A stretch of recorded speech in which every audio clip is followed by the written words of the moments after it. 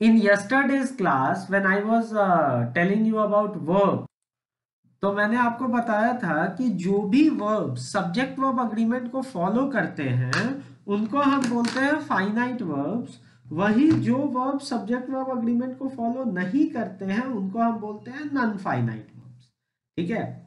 अब सबसे पहले फॉलो कर रहा है कि नहीं कर रहा है ये जानने के लिए हमें ये जानना ज़रूरी है कि आखिर सब्जेक्ट वर्ब अग्रीमेंट होता क्या है। तो subject verb agreement is a tool of sentence formation ठीक है? सब्जेक्ट वर्ब अग्रीमेंट जो है that is a tool of sentence formation but उससे पहले जो है, हम सब्जेक्ट्स और वर्ब्स के बारे में थोड़ा मोटे तौर पे जान लेते हैं। तो सब्जेक्ट्स क्या है? Subject is always consider as the doer of the action right the person who is doing the action is called as a subject.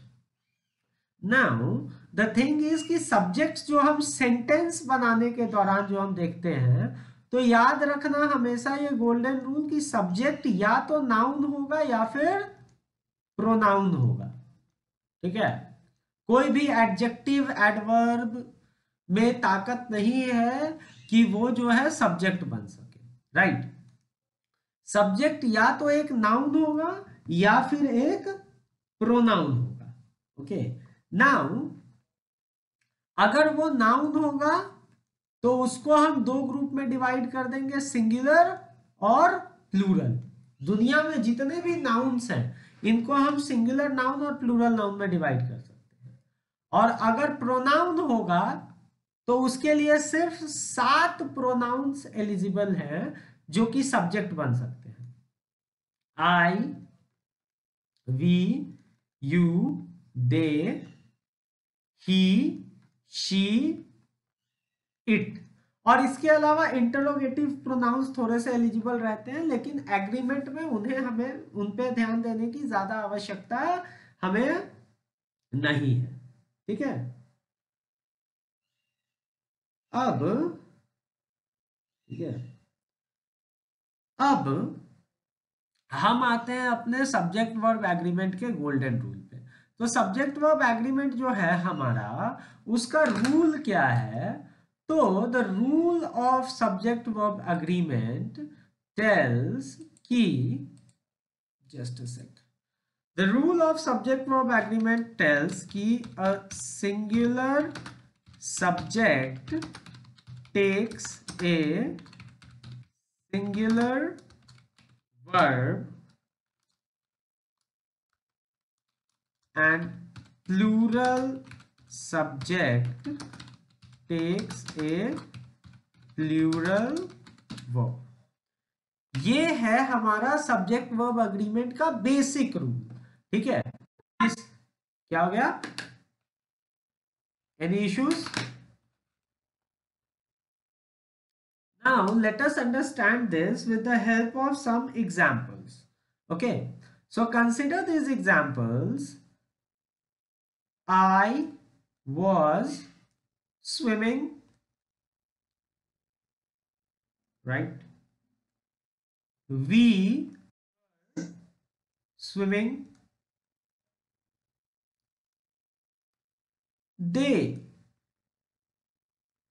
were swimming. He was swimming. Uh oh. He was swimming. Okay. Moving next, uh, we say Atul was swimming. And the next one, ठीक है? Nitin and Yuvraj were swimming अब इन सारे के सारे sentences को अगर हम ध्यान से देखो तो जिसको जिसको हमने येलो से हाईलाइट किया है, वो सारे सिंगुलर सब्जेक्ट्स हैं, ठीक है? जिसको जिसको हमने ग्रीन से हाईलाइट किया है, वो सारे के सारे जो है प्लूरल सब्जेक्ट है। ठीक है? वो सारे के सारे प्लूरल सब्जेक्ट्स है।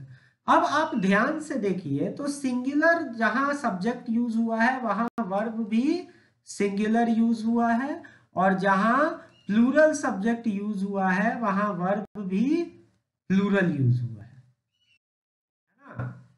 wherever there is a singular subject the verb used is singular and wherever there is a plural subject the verb used is plural so that is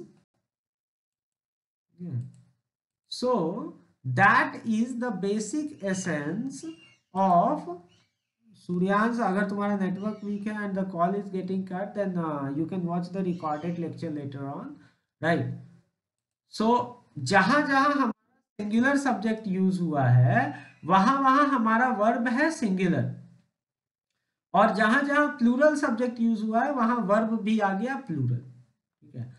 हमेशा याद रखना कि जनरली जो है, ये सब्जेक्ट वर्ब एग्रीमेंट मोस्टली जो है, ये हेल्पिंग वर्ब्स पे लगता है।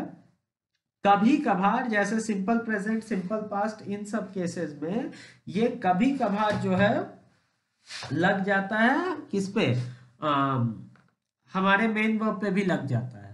लेकिन मोस्टली ये सब्जेक्ट वर्ब अग्रीमेंट के केसेस जो है ये हेल्पिंग वर्ब्स पे लगते हैं। ठीक? अब देखो ग्रामर की एक विडंबना है।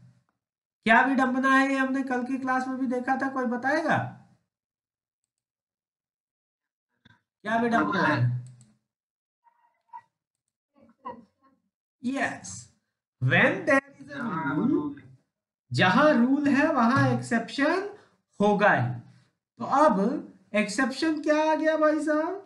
तो एक्सेप्शन ये आ गया कि आई एंड यू ये जो दो है, ठीक है they often take plural verbs I और यू सिंगुलर सब्जेक्ट होने के बावजूद ये जो है प्लूरल वर्ब्स रखते हैं। For example if we consider the sentence I have the book तो हैव जो है प्लूरल वर्ब है। लेकिन ये आई के साथ लगा है। ठीक है? यू हैव द बुक ठीक है? यहाँ पे दूसरा सेंटेंस देखते हैं तो you were the owner of the book उस किताब के मालिक तुम थे। तो यहाँ यू जो है यू हैज़ बीन यूज़ वैसे यू तो जो है, वो सिंगुलर है। आई भी सिंगुलर है। लेकिन अगर आप ध्यान से देखें तो इन सारे के सारे केसेस में आई और यू जो है they have taken plural verbs ठीक है? लेकिन कुछ कुछ केस होता है, जहाँ पे I singular cases singular verbs भी ले लेता है। जैसे कि I was the owner of the book तो यहाँ पे, ठीक है आई जो है जनरली पास्ट कॉन्टिन्यूस के केसेस में आई जो है वो सिंगुलर वर्ब ले लेता है, ठीक है? तो ये आई का क्या है ना? आई जो है भुखर है, इसको संतुष्टि नहीं है। तो ये कभी सिंगुलर वर्ब के यहाँ भी खा लेता है, ये कभी प्लूरल वर्ब के यहाँ भी खा लेता है। यू जो है, ये यू दल बदलू है, ठीक है? ये यू दल बदलू है, ये मतलब क्या बोलू, भेष बदल के बैठा हुआ है। एक्चुअली में है तो ये सिंगुलर सब्जेक्ट लेकिन खाता किसके साथ है? प्लूरल वर्ब के साथ, ठीक है? और बाकी ये सारे के सारे जो है धर्मात्मा है, ठीक है? सब्जेक्ट वर्ब एग्रीमेंट के रूल को फॉलो करते हैं कि भैया, अगर हम सिंगुलर सब्जेक्ट है तो सिंगुलर वर्ब के साथ जाएँगे, अगर हम प्लूरल सब्जेक्ट है तो प्लूरल वर्ब के साथ जाएँगे, ठीक है? क्या समझ में आया सबको? यस गुड तो now let us move on to some special rules now we shall be moving on to some special rules now what are these special rules देखो सब्जेक्ट वर्ब एग्रीमेंट अगर कोई पूछे कि what is subject verb agreement तो आपको बस एक line बोलना है कि singular subject takes a singular verb while plural subject takes a plural verb लेकिन कुछ रूल्स होते हैं, ठीक है, जो कि कभी कभी किसी किसी केस में, और जनरली वो प्रोनाउन के केस के लिए इतना ही है। ये जो अब तक हमने पढ़ा प्रोनाउन के केस के लिए काफ़ी है। थोड़ा सा, ठीक है, हमें ज़रूरत पड़ जाती है इसकी नाउन्स के केसेस के लिए। जनरली वो काउंटेबल अनकाउंटेबल वाला लफड़ा है, उसके लिए हम देखेंगे special rules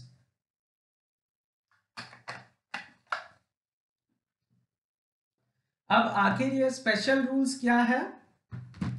So moving on to the first rule rule number one A what is one A कि if two or more singular subject if two or more singular subject handwriting समझ में आ रही है सबको? आर कनेक्टेड यूजिंग ठीक है?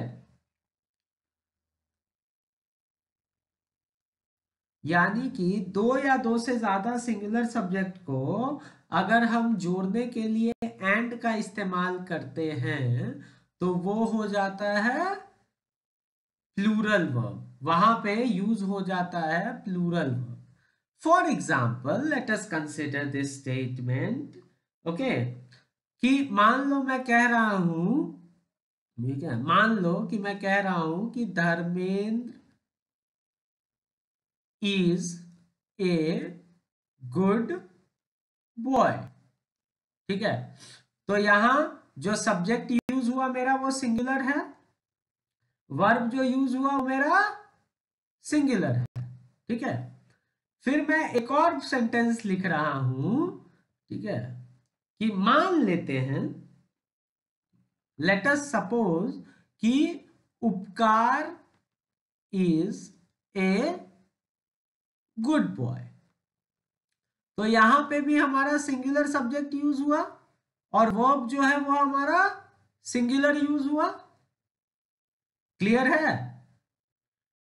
लेकिन जब हम इन दोनों को कंबाइन करेंगे, ठीक है? जब हम इन दोनों को कंबाइन करेंगे तो जो सेंटेंस बनेगा, वो इस कदर बनेगा कि Dharmendra and Upkar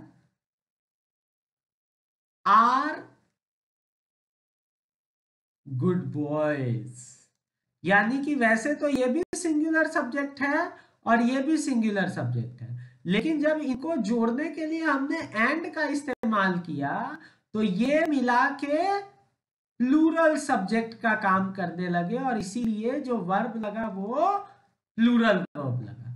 ठीक है? तो आपको बस इतना याद रखना है कि एंड की मदद से एंड की मदद से अगर हम दो सिंगुलर सब्जेक्ट्स को जोड़ रहे हैं तो उनके साथ जो वर्ब लगेगा, वो क्या लगेगा? Plural right right. ये रूल समझ में आया सबको? Great now moving on to rule number one B ठीक है? Now what is rule number one B कि rule number one B says कि okay if two or more singular subjects, if two or more singular subjects are connected using or. Are connected using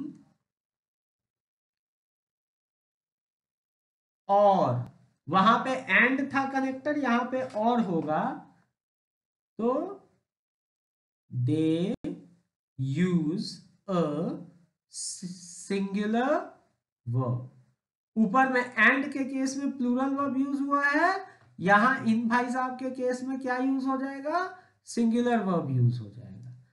for example अगर हम इसी sentence में and की जगह और लगा दे, ऊपर वाले सेंटेंस में तो क्या हो जाएगा?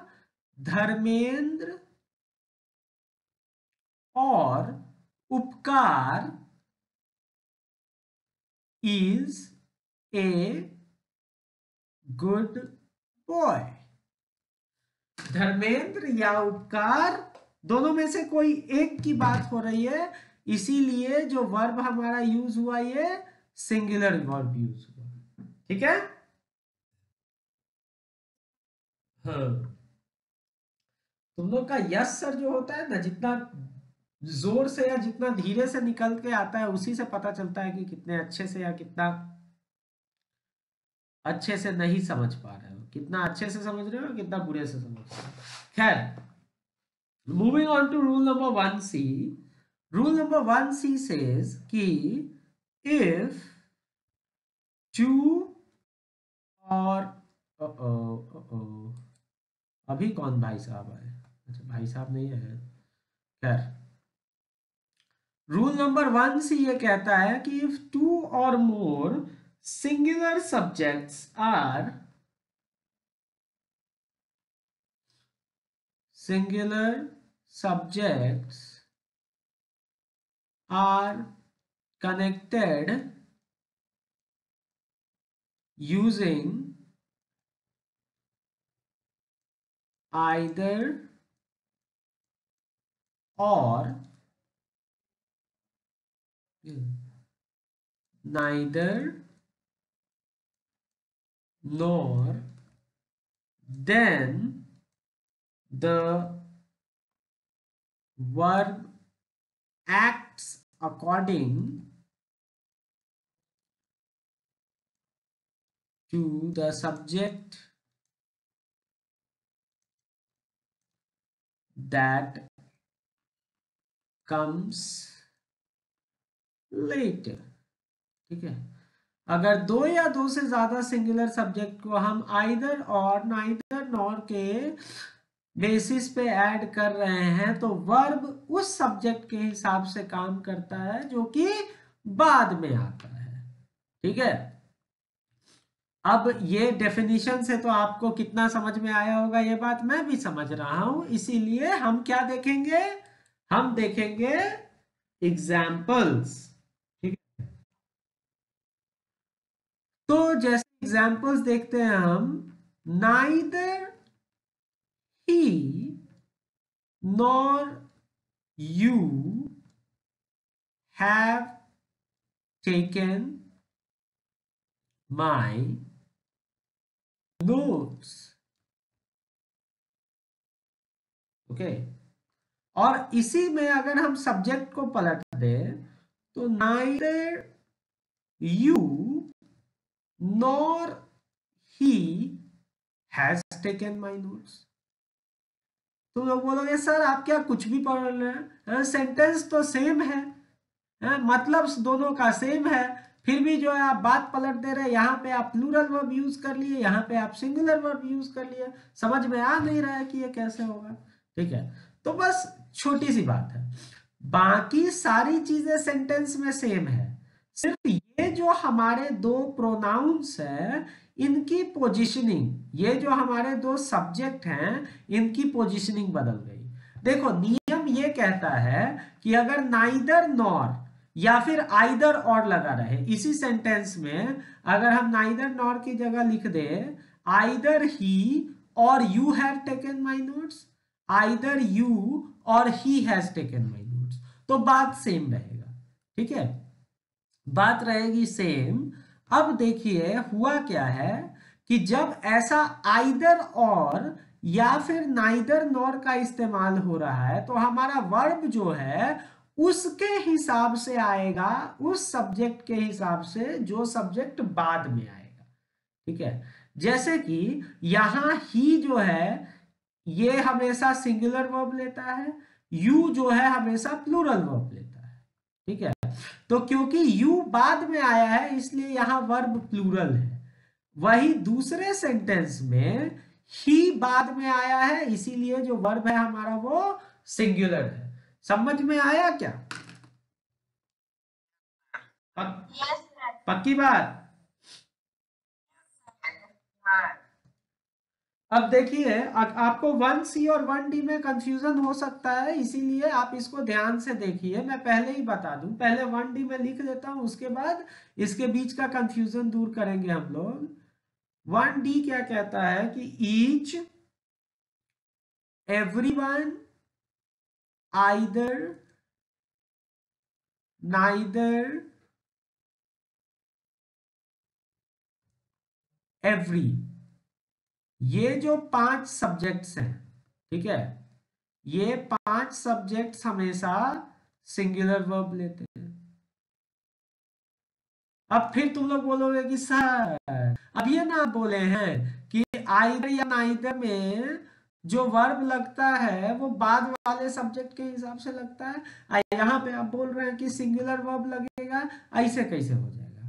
तो मेरे प्यारे बच्चों यहाँ देखिए कि आइदर के साथ जोड़ीदार है और नाइदर के साथ भी एक जोड़ीदार है। और वैसे मैं एक चीज़ क्लैरिफाई कर दूँ कि इसको आइदर या नाइदर नहीं पढ़ते, इसका सही प्रोनाउंसिएशन होता है ईदर नीदर। मतलब कि इस सेंटेंस को हम पढ़ेंगे either he or you have taken my notes या फिर नीचे वाला सेंटेंस पढ़ेंगे either you or he has taken my notes. ठीक है? बट ज़्यादा अच्छे से समझ में आए, इसके लिए हम इसे आइदर और नाइदर बोलते हैं। बट एक्चुअली में इसका प्रोनाउंसिएशन है ईदर नीदर ठीक है? नाउ ये चीज़ ध्यान दीजिए कि इधर यहाँ पे अपने एक जोड़ीदार के साथ है और नीदर भी यहाँ अपने एक जोड़ीदार के साथ है। तो जब ये जोड़ीदार के साथ रह रहे हैं, तब rule number one C use होगा। और जब ये अकेले रहेंगे तो सिंगुलर वर्ब यूज़ होगा रूल नंबर वन डी समझे? हाँ। ओके तो now let's consider some examples. Each boy is a player. अब भाई साहब ईच बॉय यानी हर एक लड़का, ठीक है? या फिर हर लड़का?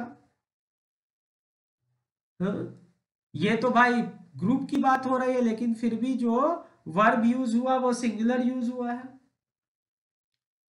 Every one in the campus place girl campus में हर इंसान गोल्फ खेलना जानता है, ठीक है? हम अपने कैंपस की बात नहीं कर रहे हैं हम किसी और कैंपस की बात कर रहे हैं, ठीक है? बट कैंपस में हर इंसान गोल्फ खेलना जानता है। अब कैंपस में हर इंसान तो प्लूरल हो गया, लेकिन फिर भी जो हमने वर्ब यूज़ किया है, वो सिंगुलर है। ये कभी कंफ्यूज आइएगा नहीं, हमेशा याद रखिएगा कि वी फाइव जो है, वो सिंगुलर वर्ब होता है, ठीक है? और वी वन जो है, वो प्लूरल वर्ब होता है। यहाँ कंफ्यूज नहीं होना है मेरे प्यारे बच्चों। ठीक है? कि हाँ इसमें तो एस लगा हुआ है तो प्लूरल जैसा लग रहा है। अब यहाँ एक और एग्जांपल देखिए कि neither of the two boys यानी दोनों लड़कों में से किसी ने, ठीक है? दोनों में से किसी ने हैज़ टेकन माई नोट्स दोनों में से किसी एक ने मेरे नोट्स लिए। तो यहाँ पे टू बॉयज़ आते ही, भाई सब्जेक्ट तो प्लूरल जैसा दिख रहा है, लेकिन फिर भी हम वर्ब यूज़ करेंगे सिंगुलर क्यों? क्योंकि इधर यूज़ हुआ है नीडर ओके?